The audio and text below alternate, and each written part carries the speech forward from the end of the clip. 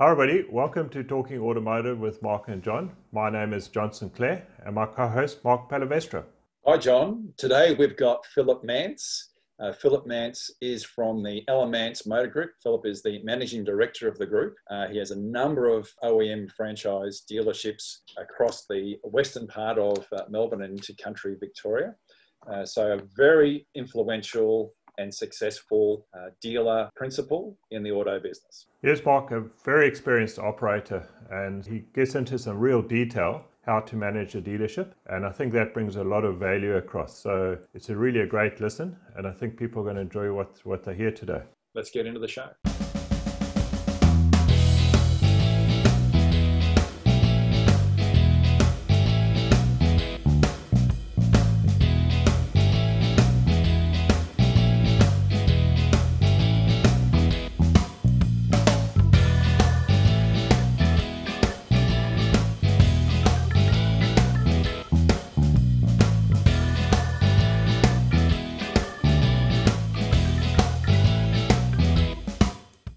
30 years' experience in auto logistics and state of the art locations in five major Australian cities, Precar Fleet Services is an independent division of Precar Services, offering specialty fleet fit outs for commercial applications ranging from simple tray and tow bar fitments to fully bespoke service body and accessory installation. With quality assured safety, compliance, and standardisation of vehicle builds, Precar Fleet Services are a premier all in one solutions provider for commercial vehicle fleet operators, leasing companies, and original equipment manufacturers. For further information on how Precar Fleet Services can assist in solving your commercial vehicle fit out needs, please visit precar.com.au and click on the link to Fleet Services. Well, welcome to today's podcast. Today we've got a very special guest speaker. We have Phillip Mance, the Managing Director from the Alan Mance Motor Group. Welcome, Phillip. Good morning. Yeah, Phillip, uh, from our side, thanks very much for joining us. It's a great honour to have you on the show. Maybe just to kick off for the first question, just from a big picture point of view, understanding of what are the big challenges facing dealers at the moment and how do you see that going into the future? Oh, look, the biggest challenge, well, obviously in the current environment, it's a challenge in Melbourne because we're in stage four lockdown. So, you know, we've had to really change the way that we sell cars because people can't come in. Now, that's different to each state, but everyone has restrictions on um, how they, you know, contact people, test drives, and so on. So really moved to more of a you know digital video live live stream live chat type of situation for us. Even to the point putting the car on the hoist, taking a video of underneath it because everyone can see around the car. But they can't see the underneath of it. So, you know, a couple of times people have asked, can we have a look at the underneath? So, yeah, we get up, put on a hoist, and take a video of the underneath. So, you know, if anything, you're probably they're getting the car checked out more than if they were here physically looking at it. A few people lie on the ground and look underneath it, but you know, it's really a matter of you know adapting to the the situation, which really is just trying to look outside the box as much as possible. And as far as outside of the COVID side of it, uh, the industry in Australia has been going through a lot of change. For 29 months of negative growth or decline in the industry. What big, uh, notwithstanding the COVID situation, but what are, were the challenges that you saw happening already over the last two years, and, and what, where do you see that going forward? Oh, well, the biggest one's probably the finance one, the changes to the federal government in the Credit Act, and that really affected the fact that a lot of people can't get finance, and that uh, has affected the car sales. So it's a good good thing in one hand. Great that you know the customers being more looked after, you know, and that's debatable in terms of how much they were being looked after. Certainly, people are taking advantage of people, so there's no issue with that, and that's been proven with the banks and so on. But on the other hand, a person who is on a lower economic ratio, person who's you know struggling but needs a car, can't get a loan. So he then has to drive an older car that breaks down more, that has worse emissions, and so on and so forth. And so, in the end, he can never get, you know, work his way up as he used to. He would get a car. He may have had to pay slightly more higher interest, and he, but he was happy to do that because he got better fuel economy. It was more reliable. All the things that go with the newer car. Well, now he can't buy one, so he has to buy and drive around in an unroadworthy older car with all the associated problems with it. So and that's one of the main reasons why the new car sales have dropped is because a lot of people can't get finance. So only you're basically put in three buckets: gold, silver, and bronze. Now, in the if you're a bronze, you're actually on a worse deal than you were pre the Credit Act. So if you're a bronze person pre the credit, your interest rate was lower than what it is now because the banks put you in you're the worst bracket of person and the people are nice just the fact that you might have three children uh, you're a renter and all those sorts of things so you've been put in a very low bracket so you pay the maximum interest which in actual fact is worse than what it was. Uh, so, what actions are able to be taken to assist that person, or is it pretty much just cut and dry? They're now shut out of the market. Yeah, yeah there's nothing you can do. Uh, then they have to go and get a personal loan. So they're paying more interest or refinance their house, which at the moment you can't do because a lot of these people, if they go to refinance their house, have to go through the same process as if they were taking out a new loan. And if they were going to get a new loan, they wouldn't have got the loan they've currently got because they don't meet the criteria now. So then they can't extend their house mortgage to buy another car because they don't meet the criteria. So the bank goes, well, no, no, I can't give you any money technically, if you'd applied for your bank loan now, you wouldn't have got it anyway. So you'd be renting. Yeah, so it's quite a difficult situation for, Absolutely. For customers, yeah. yeah. that's developing has developed a bit better over the period. They've had a few breaks, and the government have changed a few of the rules, but it is still quite stringent for that bracket of people, uh, and that has really affected car sales in terms of. That's why the used car market is very strong still because they can't they can't buy a new car, so they still are looking for a lower priced, cheaper used car. So, Phillip, following on from that, how do you attract and retain customers? What are the main actions you need to do as a dealership? Look, everything is is based around digital. When I first started, you used to get the age every week, and it, it was two inches thick an inch of it was cars, and you would be looking at the ads every week in the paper. If you can remember back that far, Mark, you know, that what, what it was like 30 years ago, and I'm sure it was the same in South Africa, John, hmm. that, you know, it was all based around the paper every week, and the Herald Sun was 40 pages. Well, the Herald Sun's four pages. There isn't a car's guide in the age. A couple of pages, might be a page, if that's it. So it's all based around a digital thing. And now with Facebook and Instagram, you can target your own customers. There's a myriad of ways of doing it, and it's a lot more personal. It's very accurate. Pick segments in the market, age brackets, people that have come to see you, you can retarget to them. So for me, it's been quite good. which one's more effective do you find? Facebook, Instagram, or do you use Twitter or now there's other platforms? Oh, Twitter's like the uh, cesspool of social media. I wouldn't go on Twitter if you paid me to go on Twitter. That's what everyone says about Twitter. If you want to bucket someone, Twitter's where it's at. So no, I, I use Facebook. Instagram for me is more of a um, food lifestyle, vegans, hamburgers, all that sort of stuff. Uh, I can't really see it, not really as much as a great place for cars. I do see the occasional ad on there, but it's not what I go on there for. And I talk to a lot of people, and it's not really that sort of demographic or what people are looking for on, on Instagram. It's um, more about clothes, makeup, Instagram um, influencers, those sorts of people. For me, it's, you know, might be travel, food, that sort of thing. For other people, it's more about hobbies and um, art and that sort of stuff. But it, yeah, no, for cars, it's doesn't, it's not cutting my crumpet on that bit, no. And as far as the uh, online portals for used cars and new cars, like the carsales of the world, you, yeah. you're pretty active in, in those areas as well? No, well, you have to be. You know, if you're not on there, you're not a car dealer, basically. You have to be on it. What you're trying to do, basically, your whole, my whole world is trying to get people off carsales and to my website to look at my cars on my website. So, because they're free, the leads are free. I'm doing it that way. Whereas carsales, I think it's you know well, at the moment it's free, which is nice. Uh, but at the you know normally it's fifty or fifty five dollars per lead, so it gets pretty exy. As far as funnel, funneling people to your website, the, the Alan Mance brand is a very strong brand. I remember early days uh, sitting in your office and you're talking about this new thing called the internet. I think it was 98 or 99, and you said, "Just watch this, Mark." It, it, but you said, 88, like, 88, right, 89. It's, it's like, a, like an anaconda that can come up and just bite you. But he said, I remember you saying how amazing it's going to be. So you're one of the very early adopters when it comes to playing in the digital space and building the brand of the Alan Mance brand. How do you develop and maintain that brand? Digitally and also all the with all the other stuff that you do? Oh well, you know, you've got to do it every day. Over that period, I can remember starting with Google when it started. I tell my children that they think I'm from outer space, looking at the background of me.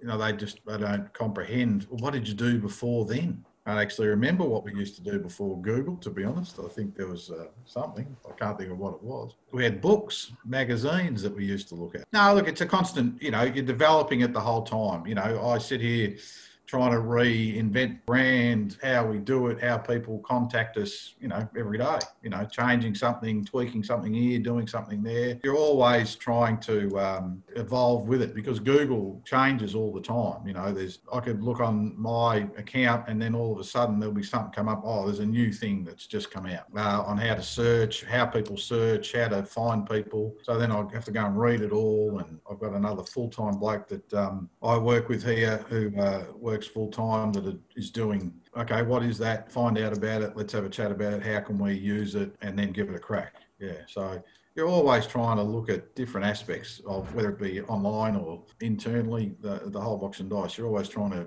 have the touch points, as many touch points as you can with the customer, whether it be in service, parts, big online parts store, which is uh, very popular, but it's taken, you know, three, four, five years to get to that, the point now where it's like in these particular times on the weekend, it's going off. Like it's we're going crazy. It's just we've got boxes and boxes of stuff going out. Phillip, in terms of, are there any other marketing, particular marketing activities that you do to drive your brand and develop your brand? Well, the main's pretty much two Facebook and Google. We do a bit on Instagram because when you do a Facebook ad, it actually connects to Instagram. So it'll it'll it'll do it up on Instagram. But yeah, so they're the main three that we use. Yeah, and I do still do a bit of local paper, uh, but in certain areas, uh, Bacchus Marsh, there's a local paper ad going in next week for a service. But you know, in terms of trying to sell cars like you used to in the local paper, oh, I think it's a dying art. And shopping centre displays and those type of activities. Yeah, I think you, they're good. Do, do some of that. Um, yeah, we did that. We we did Highpoint. I hired a shop for three months. It was on a short short term rental. The biggest issue you've got to be there. The whole you have to be open when they're open and close when they shut. So yeah. if you're if it's Saturday Sunday till nine p.m. If they open at nine, you've got to be there. Like it's a lot of work. I don't know if I could do it in one brand. I change the brands every month, so different people. But shopping centres, they reckon the return is like 85% of people go there every week. So if you had the same brand there, well, they'd look at it once and, you know, the same people would go there. So I think it, it varies. And then Monday, Tuesday, Wednesday in a shopping centre's dead. And then it's Wednesday, it's Wednesday, Thursday, no, Thursday, Friday, Saturday, Sunday. It sort of builds a, to a crescendo. And then Monday, bang, you, you won't see a person Monday, Tuesday. Yeah, it's a lot of work, but I think in a short term, yeah, it's great. But for long term, oh, it's, it's very wearing. And how do you measure success? What what would your expectation of success be having that shopping oh, centre? You being an ex-factory man would know that the only success that you idiots work on is how many cars you sell. That's the million dollar question because uh, exactly as OEMs, we expect you to have a shopping centre and it's going to sell X amount of cars per week. It doesn't. It doesn't tell you. It, it plants the seed for people to look at cars and consider cars. Does it sell? It, it, does sell some.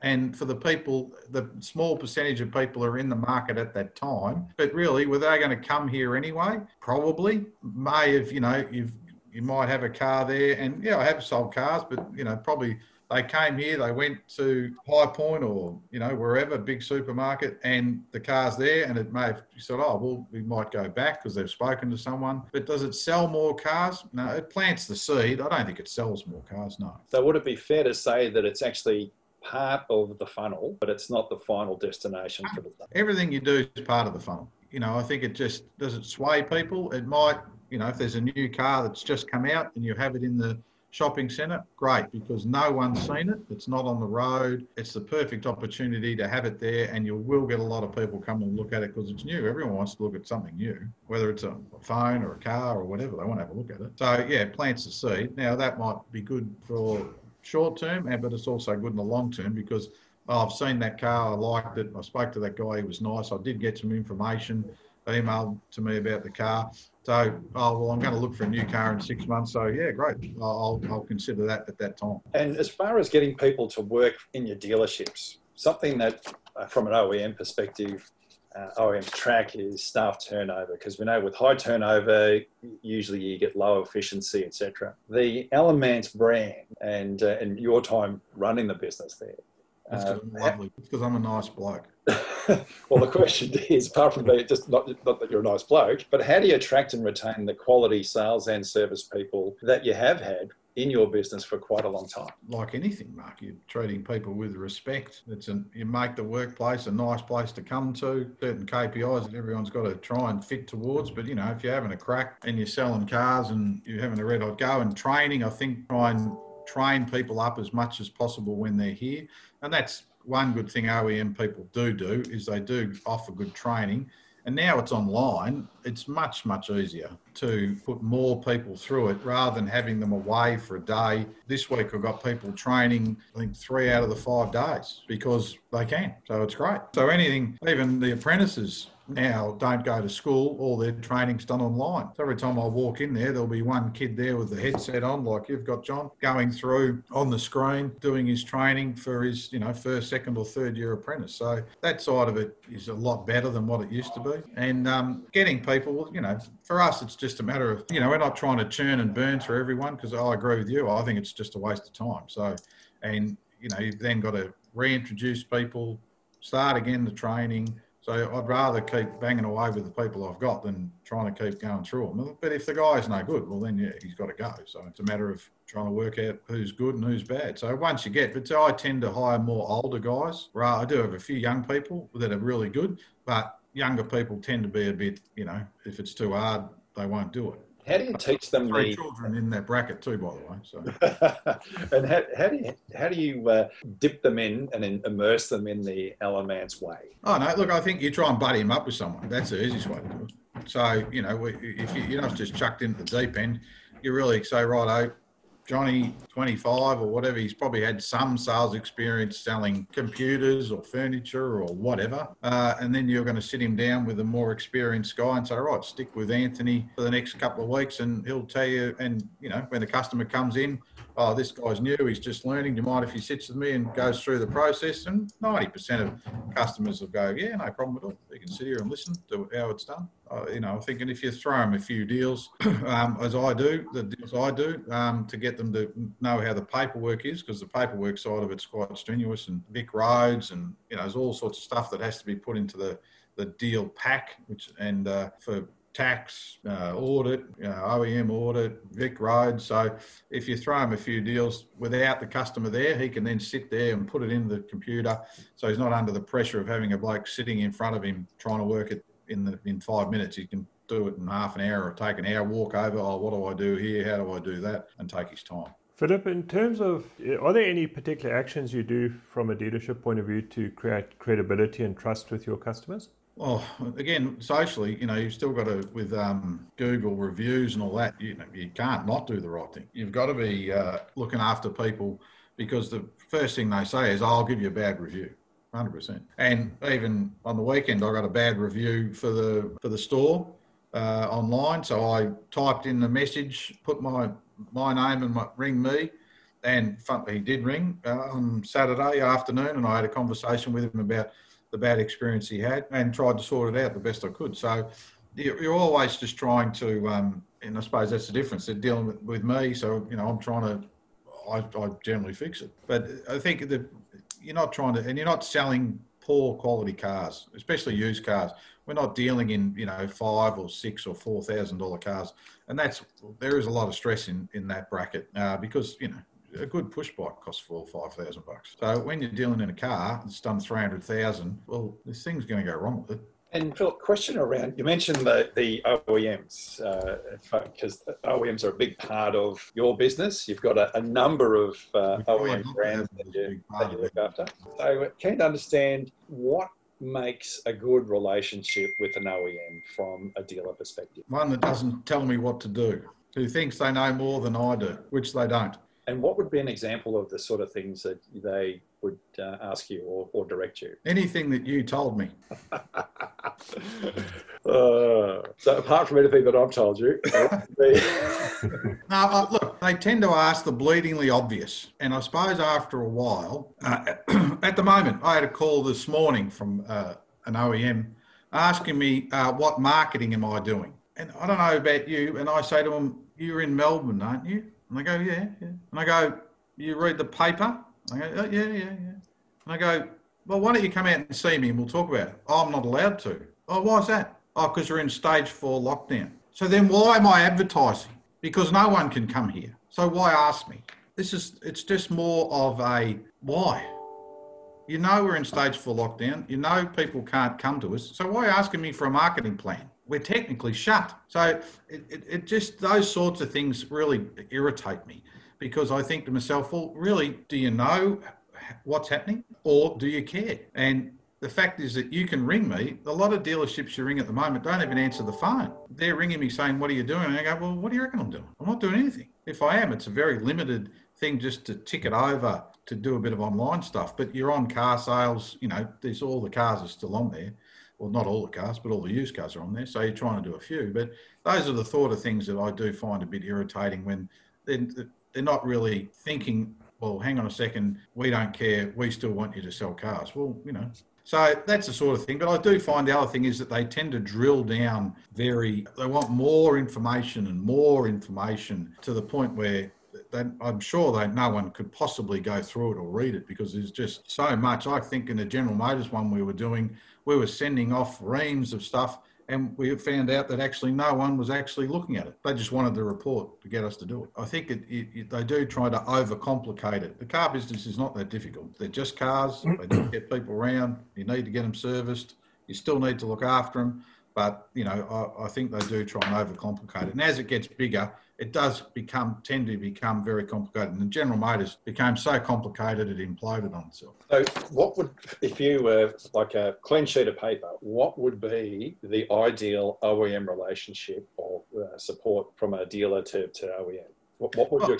I'll, I'll, give you an example of an ideal one at the moment. I've got a small brand that I have. Uh, it's based in Sydney. I have one one rep that does the whole of Victoria. If I've got a problem that I need a car, I ring him. I've got a. I do send him a report each week on how many cars we sell and how many people come in. And that's about it. Uh, they send me the the um, advertising assets, and you know I do what I need to do uh, with that to try and sell the cars, and everyone's happy. So it works a treat. But again, you know, we've, we've been selling 10 or 15 a month and making good quid out of them. But again, once you start over complicating it, it, it, does become tedious, but it also, it affects how many you sell. So for instance, you know, we can't sell, we're not allowed to advertise a lot of the new cars on the net. Now, there's advantages to that and there's disadvantages to that. The advantage is if it's a new car, and I've got no issue with new cars not being on there, but if the car's six months or 12 months old, it should be on because it's one thing an OEM doesn't work out, you know, old stock is dead stock and you've got to get rid of it. You know, you don't want to have the old model in the front of the yard and the new model at the back of the yard because you've still got too many of the old model there. The old model should be on the net and see you later. Mitsubishi do it. As soon as a new model comes out, all the old models are on the net and get rid of them because they want the new cars out the front, not the new cars out the back. Phillip, in terms of your relationship with the different OEMs, do you find some take up a lot more time than others and more demanding, or is it yeah, no, no. Some do because they want more reporting. Hmm. They want to uh, speak to you more often. Um, you know, I've banned uh, people from coming here on say, right, you can come here once a month and that's it. Uh, oh, well, we want to come every week. I said, no, you can't come. You know, I can't have people uh, offline for two or three hours because you want to go through some myriad of reports. It's not happening. So you can come once a month and that's it. You work out a day and you're not coming to see me. You can speak to the sales manager and um, that's it. One, one of them, I don't talk to them. They have to go through another person. Now, uh, we talk about retail offers and, and moving stock, etc. What retail offers do you see work best? You know, is it driveway pricing? Is it finance campaigns? You know, there's a typical OEM question. Is it driveway pricing? Of course it is, you idiot. That's what it has to be. so drive away is where it's all at. Well, it's the law. So you have to quote drive away pricing. You can't not quote it. You know, even if you have a finance offer, you still have to have the drive away price there plus the finance offer. Yeah, Driveway always works. Value add always works. Like, you know, Mitsubishi doing seven year warranty with three years free service. That's always good. Nissan are doing one with um, a finance offer. Um, and as, if you take the Nissan finance, you get additional things like three years free servicing or a subvented uh, interest rate. So that always works. So um, keeping it simple is the best. If you're overcomplicating it, like we'll pay your GST and all that, forget it. It's too hard. No one can get their head around it. It, you know, again, you'd never see now was twenty nine nine ninety now twenty four nine ninety with a big discount. You don't see that anymore because it wrecks the brand and wrecks the car. So it tends to be right. It's twenty nine nine ninety, and you get seven year warranty and three year free service and subvented rate and all that. You'll never see. You don't see any more. Was twenty nine nine ninety now. Save five thousand dollars. It's now twenty four nine ninety. They, they don't do it anymore. Over a period of time, it just wrecks wrecks the car. So would it be fair to say, key takeaway here, if you keep it simple, product and price of what it is, how much. Yeah. So that driveway price doesn't have to be the cheapest driveway price, No. but it's have a price, but then have the value add. Value adds are the way to go. Except petrol. Don't do petrol. Petrol never works. So fuel offers do not work. Same as um, we're going to put you in, buy a car and you'll go in the draw for a house or uh, $10,000 cash. That never works either because everyone thinks they're never going to win. So, So free service, that's that's a, a strong value add. oh, yeah, really good. Because people know, you know, if they can buy a car and they don't have to service it for three to four years, well, yeah, well, you know, their costs are nil. So all they got to do is put petrol in it and that's it. So for them, it's a no brainer. So, Phillip, with more people working from home now, do you think there's any changes from a digital perspective and how they research cars and how they're buying online? I think they've just got more. They've got they more got more time, John, because they haven't got anyone looking over their shoulder at work. You know, they're at home. So yeah, I think our um, our amount of traffic that's coming to the websites has increased over this period because they've got more time to be doing it, whether you know it's in the morning or at lunchtime or whenever. They've, if they're sitting at home, uh, they're online. Uh, but yeah, I think they've got a bit more time to start looking at, especially option wise. You can tell when a person rings and he wants this, this, this, this, this, and this, and I go, well, you've looked at the website, and he goes, yeah, because he knows exactly what he wants. They even some of them send me the part number, Amazing. and some people. uh, For some options, I've had to look them up because I've never heard of them. And what further changes do you see in the digital space? Because given, given you're a digital pioneer, so we're at this situation where you're putting cars up on hoists and showing underneath. Mm. You're, you're, you're responding. You're doing live streaming, live chats, etc. Where do you see? Or what, what further changes do you see? What's what's the next phase? just more video. You'll have the at the moment, you know, you've got pictures of the car, so you might have 25 or 30 pictures, but not everyone's doing video. Uh, some people do, but do more walk around video of the car.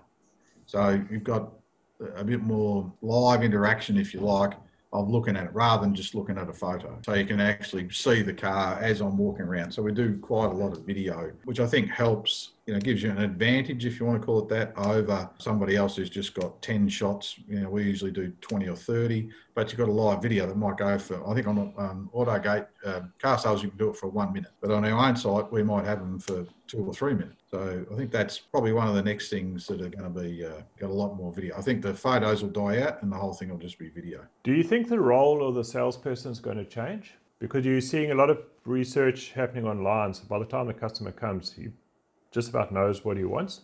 I think that's been happening for you know the last four or five years, John. So the customer knows that you know I work on really nearly one in two people that come in here ready to buy a car. We've just got to do the right job and try to sell it to them. But they've already made up their mind that they want to buy that car if they're coming in here. Getting back to OEMs, we uh, we're always guilty of doing another road to the sale. So uh, no, no doubt your OEMs would be asking you questions around test drives and showroom display, etc. Given the digital world, how important now is the showroom display, or is that less important or more? Yeah, oh, it's becoming less important. You know, the test drive's important, so you know you probably got more cars outside than inside.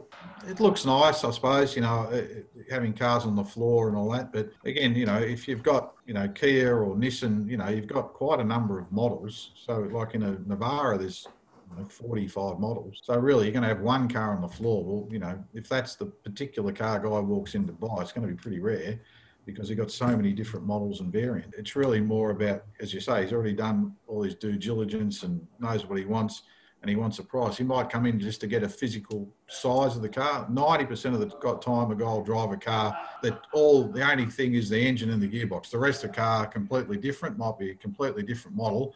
But I don't have what he wants, but I say, right, this is a car. It's got the same motor and gearbox, so jump in that and go for a drive in it. Uh, yes, it hasn't got leather, and yes, it, or it may have, but you'll get the, the idea of how it drives. But they're coming less and less. The new car department is getting less and less. That's So test drive still is the critical piece, and that's why if they come in for a test drive, they're well and truly down that funnel. Would it be fair to say? Yeah, if you're down to test test drive, um, you are getting down to tin tacks of, uh, you know, you might say you might have five cars that you want to look at, then you'll whittle it down to say three, then you'll go for a test drive in those three and whittle it down to two, and then make your decision out of the two. You know, it just might be the fact that one's a Japanese car, one's a Korean car, one's built in Europe. They do drive differently and they sound different depending on, you know, what country they come from, noise, engine noise, road noise a Japanese car tends to have more road noise. European cars quieter on the road. Korean cars different to a Japanese car. Going back to F&I, you mentioned the changes in the Act. Has there been any specific actions you've taken to address that? No, you're really just trying to, um, you know, help the person. We've sent people away for six months, for instance. You can't get a, a loan now, but because of A, B, and C, for the next six months, fix A, B, and C. Stop getting Uber Eats, stop taking, you know, Uber or DiDi or rides or doing this or doing that, because that is what is coming up. And they're adding that into your credit worthiness and taking that off. Stop punting on sports bet and taking it out of your credit card because they don't like that. They're the sort of things that you're educating those people to stop doing to fix their credit application over a period of six to 12 months.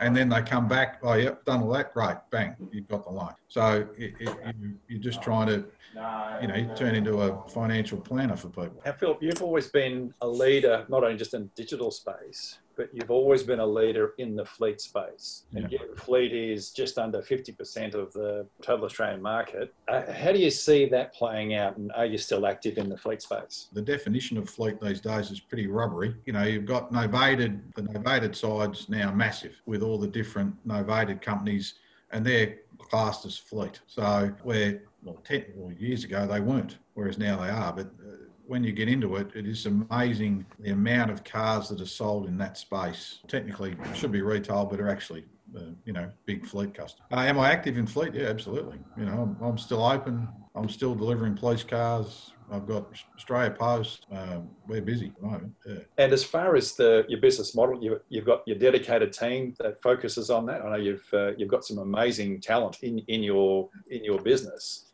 uh, when it comes to the fleet space. Obviously, it starts with yourself and the, and your leadership there. How that strategy is clearly articulated through the team. Yeah, well, you know, like I do all the quotes. You know, I'm doing 100, 150 quotes a week myself, which is all online and all that sort of stuff. But I think it, you know, you're trying to lead by example. And then I've got a number of people in different brands that look after those customers, and eventually they start doing some quotes for them, or they ring back. And guy rang back the other day and said, "Oh, you know, you've given us ten Ceratos. I need another ten. So then can you do them at the same price? So it's pretty easy. Just a matter of the biggest issue is the car's clean, it's got all the accessories fitted to it, and it gets delivered on time. It is amazing. People may leave me for some reason, price, and they come back and go, "We've come back to you because you know you do it properly." In terms of used cars, you mentioned that's a very important part of your business. Besides the vehicles you trade in, do you purchase vehicles from a number of other sources? We're always trying to. Unfortunately, at the moment, like at the you know the minute the prices are very high, so um, if anything, you're probably having a, a crack at trying to trade more cars in rather than buy more cars. So you'd rather sell a new car and trade one in rather than just trying to buy cars, you know, from an auction or uh, from wherever. But yeah, we do buy them. Yeah, you, you have to if you want to try and keep your stock up. Especially if the used, if the new cars drop off, you can you know run out of used cars. Well, not run out, but get to a point where it starts to look a bit empty. Do you use your your fleet business to generate used car stock? Absolutely. Yeah. You always, uh, you know, even with the novated stuff, um, they tend to trade in. Now, a lot of these cars go back to the novated company and then they put them through the auction. So I'm always at them saying, "Can I buy the car? Can I buy the car? How much do you want for the car?" So that started to um, to work a bit. So yeah, we are picking up a bit more stock that way as well. Just and as far as government vehicles, are they still good news as a used car, or, or you're Yeah, they are, they all, they all go through the auction. You, you can't you bug it there. So yeah, hundred percent. And they th- their uh, suite of cars now has expanded not just from Australian built cars to Cops drive BMWs. Um, you know, Kias. uh, We sell Kias into them. You know, uh, the whole range of cars has expanded a lot, which is great because they're you know probably better used cars than a white Commodore V6 Omega. In terms of used cars, is there any particular best practice for marketing used cars? Oh, just carsales. You know, look if you if you stuck with carsales, there is a few things on Google I do in terms of some search engine stuff that you can do on specific cars. So it's the way you actually put in Google how you search the car, and it, hopefully it'll match up with a car. So you, you're marketing one one thing. So that person can then if he's look, I've got a Ford Falcon in front of me. So if he's looking for a Ford Falcon EcoBoost, then my that one car will come up that he might then click through to my website instead of going onto carsales. And uh, you mentioned before about having an online parts store. Yeah. Uh, so you're pretty obviously very active in the in the parts space. Yeah. Uh, how do you do a lot of trade, or is it mainly private that you're doing through the online store? No, I do a lot of trade. Trade's um, interesting, dealing with uh, part panel beaters, and you tend to, over the years, stick with people that you know are going to pay because you know there's fair, fairly slim margins in it, and in the trade side of it, you need to be careful who you deal with. And from a, a service perspective, what trends are you seeing in uh, in service? No, no. Most people these days are still because a lot of it's cap price. You know, a lot of people are coming back to car yard or car dealers for service, whereas they used to go to, and some people do go to backyard guys we call them, if you want, to, uh, or service stations or stuff like that. But a lot of the time they'll get burnt or the car won't feel right. You know, the, the engines these days are very particular in what oil you put in them not just the grade of oil, but even the make. They're designed for only one particular type. So if you stick the mineral oil in it, for instance, it won't drive the same. And then they'll come. I've had many calls where people saying, "Oh, I've just had it serviced and it, it's not running right. It seems sluggish." And well, that, so oh, where'd you get it done? Oh, I got it done at ABC Motors or you know a little yard guy. I go, well, he's probably put the wrong oil in it. And they go, oh, that can't make the difference. I said, it does. I said, tell you what, I'll put oil in it, and if you don't think it changes the difference, I'll give you your money back. So they come and we just change the oil, and the guy will get to the end of the street and ring me and go, it's like a different car. That's how fickle these new engines are, just from putting the correct oil in it to putting a mineral based oil, because all our oils now are full synthetic, can change the car markedly in how it drives. Yeah, it's amazing there's such a difference in disparity between different oils in it. It's I'm quite too. fascinating. Yeah, I'm amazed, especially in the diesel motors, Yeah. makes a huge difference. So, in terms of retention, what is you know the average age for a retail customer to change their vehicle over is eight years? Is there anything particular you do to try and retain? Because it's a very long period to try and keep contact with a customer. Yeah, it, it basically just trying to, um, it's really through the service department. So, you know, we do a lot of service reminders and continually doing that, you know, over the years, just trying to get them back into service. So when they come into service, they'll stay hopefully and walk around and look at a new car and have a chat to somebody. And hopefully they've dealt with the same person uh, that is still here, which I think is another reason why staff retention is important. That, uh, you know, in three years or four years' time or five years' time, the same bloke you sold the car to four or five years ago is the same bloke that you're talking to. So, oh, g'day, John. Hey, how you going, Anthony? You know, you still here? Yeah, I'm still here. Yes, I think that's such an important point that continuity of staff and the value that brings.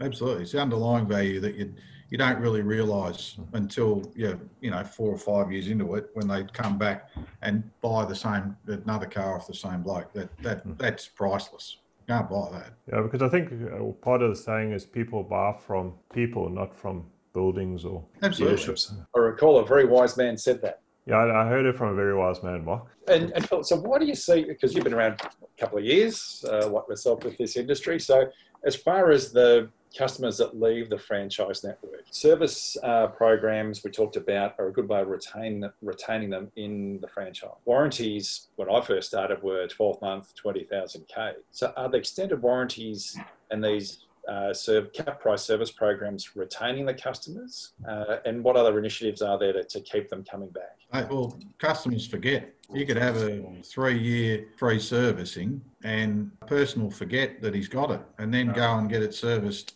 somewhere else because he's forgotten. So that's why service reminders are really important, just to jolt people's memory, because people forget. And I think if you look at the percentages, only 65% of people come back to get their free service. 35% of people go somewhere else and pay for it. What surprises me is many years ago, I'm talking 20, 30 years ago, customers would leave because the service wasn't affordable. But I think that's all changed. And with these extended warranty service contracts, cap price servicing, I think the franchise dealers as competitive now as he's ever been, and customers still leaving.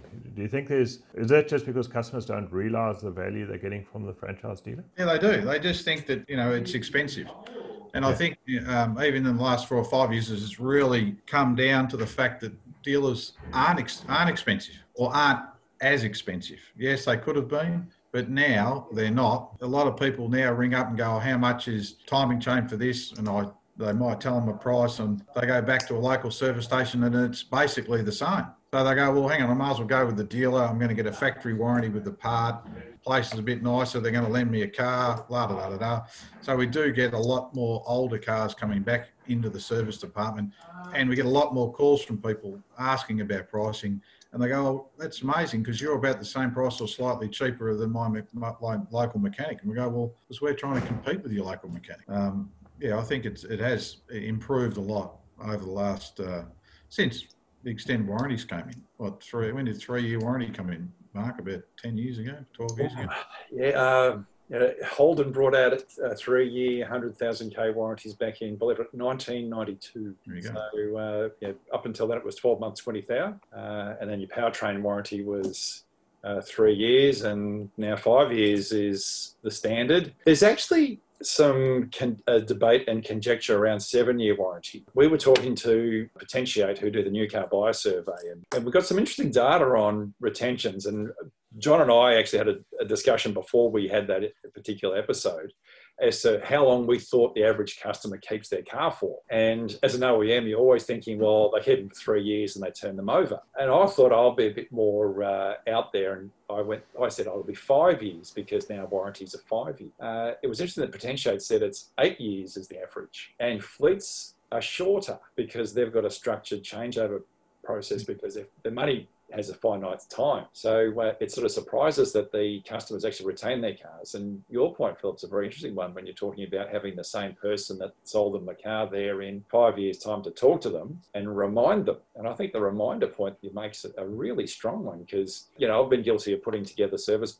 uh, free service campaigns uh, and provisioning all this money off to pay for these free services that no one ends up claiming. Which is just amazing, really, when you think about it. 60% of the people take it and 40% don't. Well, they got to go somewhere. They have to get the car serviced, otherwise it'll break down. Activities around that, that oil that you say as well, that there is risk for those customers going outside of the franchise dealer network. No, absolutely. And a lot of, you know, you're always competing against, you know, certain other brands that say, oh, no, bring it to us and you'll still get a manufacturer's warranty and all that sort of stuff. Well, not if you've got the wrong oil in it, mate. You won't. And not if they don't do the logbook service. Uh, you know, they forgot they haven't. It's oh, but I've saved. It's half the price. It's half the price because they don't do half the work. They're not doing the tappet adjustment. They're not changing the diff oil. Then eventually something goes wrong and the diff blows up in it, which has happened a year ago. The bloke rings me and he goes, "Well, it's not covered under warranty." I go, "No, because you've never changed the oil." Oh, but I've been taking it to a local mechanic and he tells me he did. Well, I'm telling you he hasn't because it, it looks like treacle. It doesn't look like oil. It's five thousand bucks for new for a new diff. Sorry, but that's not my decision. And, you know, people think I've got little gremlins out the back making the cars. I'm only the middleman. I have to actually ask somebody else if it's okay, like him, Mark. Then he has to make the decision, and I have to break the news to the person. So I think that's why we're trying to be more competitive um, and keep banging on about the same thing. And some people over the time, people do start to believe that you are you are doing the right thing, you are competitive, and you are using genuine parts, and you are using the right oil, and it does work because your car doesn't break down, and you get better fuel economy, and all those sorts of things. And you know you don't need to take it to a mechanic a mechanical workshop, and no problem by all means. You know if it's an older car, be my guest, take it to them. Hmm. But the newer stuff, you've got to be careful. But it makes a good point to make sure the customer is comparing apples with apples when he compares the price from a franchise dealer to someone else. Are they using the right oil? Have they done the full service? Everything involved, you know. So I think it's a you know that's important because some of these on some of the labour charges that we get in cap price, the, the actual labour charge might be eighty dollars. That's all we're making, but the rest of it is the oil, the filter. Uh, some of the oils in these cars cost $100. The, the labour component of it is not a lot. It's all the stuff that you buy to put in it is expensive. And especially the right quality, as you oh, mentioned yeah. earlier. Yeah, yeah. Well, we use full synthetic oil on every car. Like, it's not cheap. Like, I could be buying crappy mineral stuff, but it's no good. It won't work. So, in your workshops, do you then have different oils for each of your different brands? Yeah, absolutely. Yeah. So that, that complexity, how do you manage that complexity that each brand does things differently? Well, every, see, we've got different workshops, so we don't have one workshop. So we get, you know, we've got five workshops. So and each one's branded to Nissan, Mitsubishi, or Holden, or Kia, or whatever. So that's it's easy because you've got different lines. So okay, this is going to be the Nissan shop, or that line's the Nissan oil and that line's the Mitsubishi oil, for instance. So it's not too bad. Uh, if you're in the one workshop, yeah, I think it would be tough. If you had six brands in one workshop, I don't know how you'd do it. You'd have to, you'd be walking around with little buckets of oil. You'd have to go up and tap it in and then pour it in, which is a real pain in the neck. It makes a mess and you got oil everywhere. So we use the guns, just pull them down, dial it up, and it, it makes it a lot easier and a lot cleaner. Okay, Phillip, thanks very much. I think there's been a really good discussion.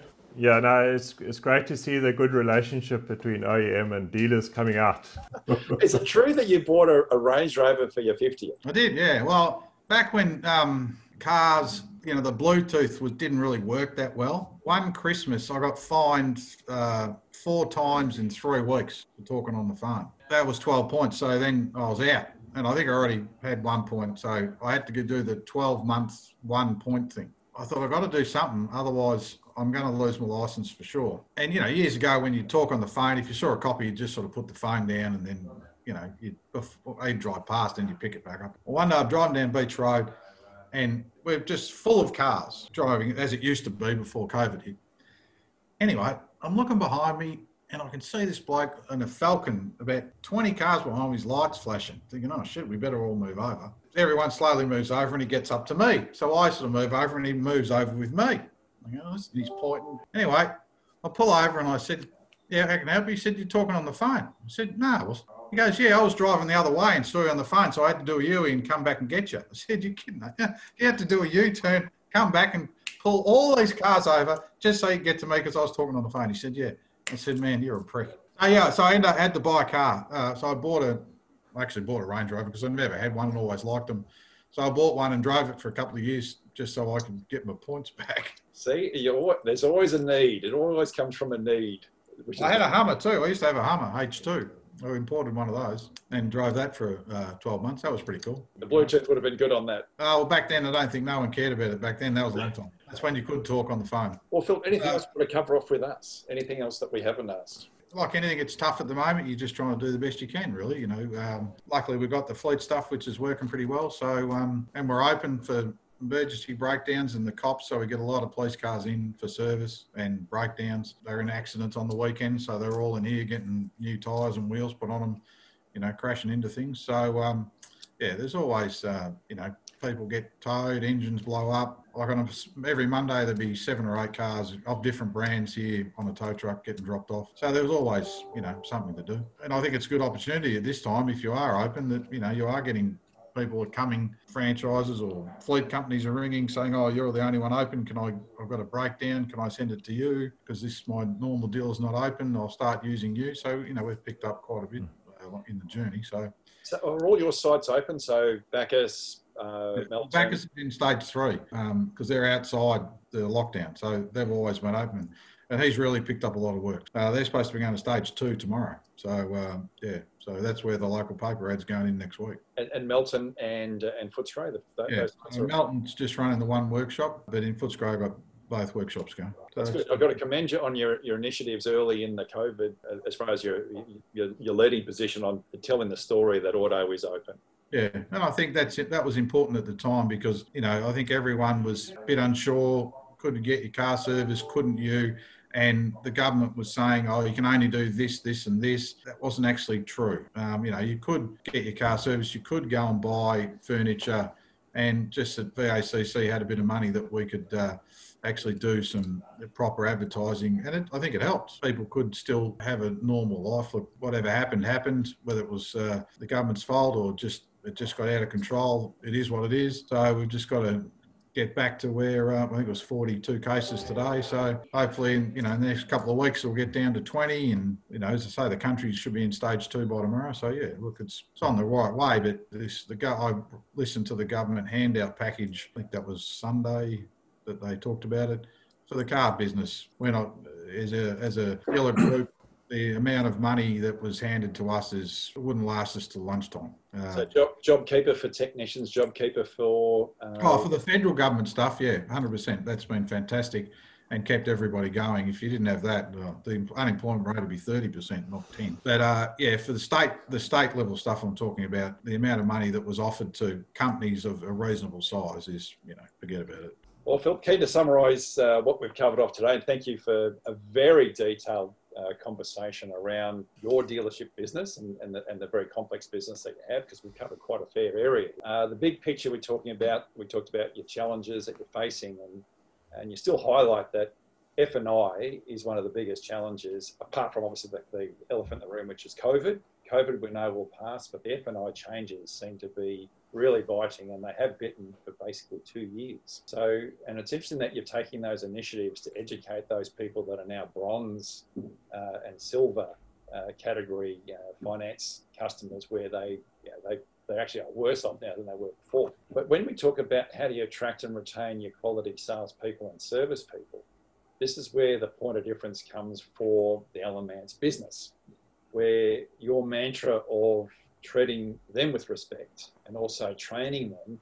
And I really like the point you raised about you have that buddy system where the new person gets inducted and, and has that process of not just being thrown in the deep end, but they actually get to learn because that then comes back in what you said very a lot later in the conversation around that whole service customers coming in and keeping them coming back. Because if they're seeing someone that they've dealt with years ago still there, that trust bit is there and they feel very much at home. Yeah, half the job's comfortable to then retain uh, to buy a car from. So you've got a very strong retention policy with your customers, but it actually starts with your people, your salespeople and your service people. Mm. which is a credit to the strategies and structures that you put in place. And respect's a big part of that. We, you talked about the branding, and you've always been an innovator in the digital space. So it's that story and the values of what the Alan Mance business stands for. And the medium that you use, and Facebook and Google are your two main mediums that you use. You do a little bit on Instagram. You use carsales for your used car business because that's the transactional bit. But you've also done some adopting and you're still developing further actions around this live streaming. And you mentioned video is a bigger part of your digital journey. And what you've the evidence by what you're doing now in these COVID times, where you're even putting cars up on the hoist and showing people down beneath the cars. So they're getting a better experience and more intimate experience digitally with the stuff that you're doing. So once again, an innovator and leader in the digital space but you're taking it to that next level. And, and that's on the retail side. And when we talked about retail offers, and you said, right, so how do you, what works best? And you confidently said that driveway is important. So you have to have a driveway price because you need to know what the product is and what the price is. But you don't necessarily need to discount the, uh, the guts out of it. What you've mentioned is you have that driveway price, but then that's the value adds. And you mentioned the finance offers as a value add, but you still need to have a price in there. You can't just have a finance offer. You need to have uh, like you can do the extended warranty and the other add-on bits as well and the free service to get people back in for re- that retention. You mentioned something very important that I, I think uh, is often overlooked from an OEM perspective is those reminders. If you have a free service campaign, you've got to have a reminder because you're saying that 60% of people, uh, only 6% come back. So you lose 40% that have a free service, but they're paying for it somewhere else. Mm, so that has to be done. So, and your, your initiatives there around those reminders are critical. And then you also talked about that's the retail side, but fleet is so critical because that's a baseline volume. And you've you're ahead of the game understanding the novated space and how important that is because that's also a source of, of quality, diverse used cars. And you also talked about the need to do the other fleet business, which is like the government stuff and the other uh, FMO stuff, where you provide good after sales service. You talked about these police cars that have been damaged. Who do they go to? You're the go to person. You also mentioned that you don't necessarily have to be the cheapest all the time. You might, you'll have some customers that may go away because of a, a $10 or less price over here, but they come back to you yeah. because you deliver their cars to them when they need them in the good in the right condition. So that's that really strength that you've got from a fleet perspective and having good people through your business and even yourself being involved in it, I think is a critical piece. So you've got your finger on the pulse in all areas. You talked about used cars and just sourcing them and, and there are challenges from the from the auction space, but you still play. Mm. You still look to look for value. And because you know those F and I customers that can't buy new are going to be buying lower car used.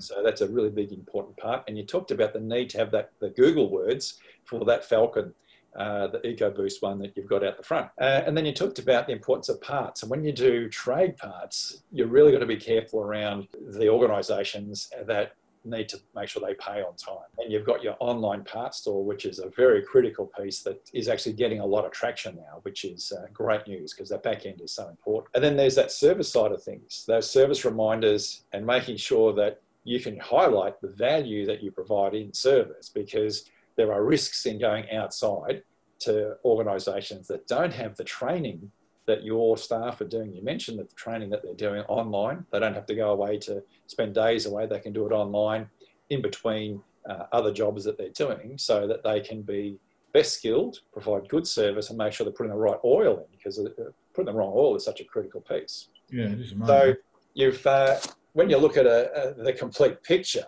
and we thank you for coming on the show because you have your finger on so on all the pulses of all those critical elements of the business.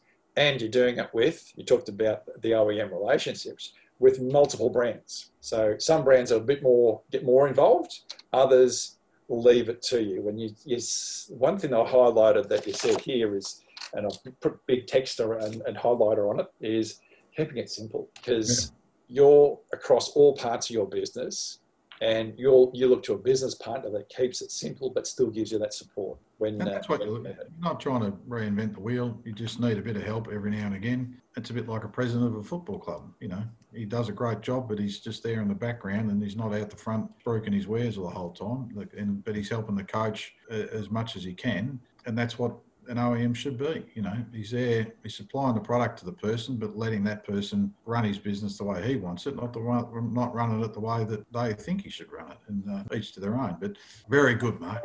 Well done. Is that a pass, Phillip? Yes. okay, Phil, thanks very much. It's been a really fascinating talk, and it's really great to talk to people who really understand the business and got great experience in it because you learn all the time, and today has been another learning experience for me. So thanks very much. That's all right. Pleasure. Nice to uh, see you, Mark, and nice to meet you, John. Well, thank thanks. you once again, and regards to the uh, the family. I will. Thanks for listening today. Hopefully, you've got as much out of that fantastic interview with Phillip Mance as we did. Uh, as you can see, Phillip is a he's a character and he's a colourful dealer in the uh, the Melbourne and the Australian dealer landscape. If you need any more information on today's episode, or would like any information on any other episode, or you have a topic that you'd like us to cover, please send a message via LinkedIn to John Sinclair or myself, Mark Palavestra. If you like the show, please ensure you subscribe to our channel uh, and like us uh, on the uh, on YouTube, but also like us on LinkedIn and reach out. And we look forward to seeing you at our next episode. Yeah, thank you very much, everybody. Uh, we look forward to speaking to you next week.